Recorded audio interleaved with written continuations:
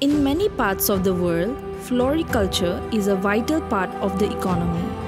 But for the farmers who grow the flowers, the industry can be difficult and uncertain. For the past two years, Citizens Foundation, with the support of HDFC Bank's Parivartan, has been working with the farmers in Bagta Tree village under Kamrup district of Assam. They were provided with access to better tools, training in modern farming techniques, and high quality seeds. The reason behind this initiative is because the farmers are able to earn only during the Rabi season. At the time of the year, the land is submerged under the water as it is a low lying area.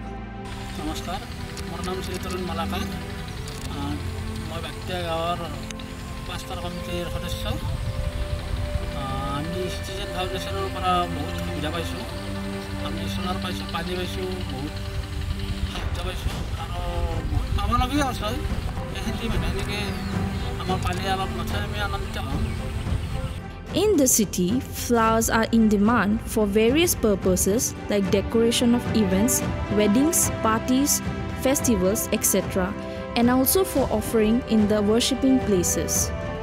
The farmers sell the flowers to vendors and then the vendors sell them in the market and nearby the worshipping places.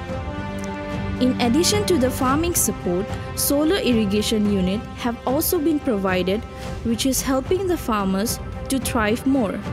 Like that, each beneficiary has been able to earn 2 to 3 lakhs a year.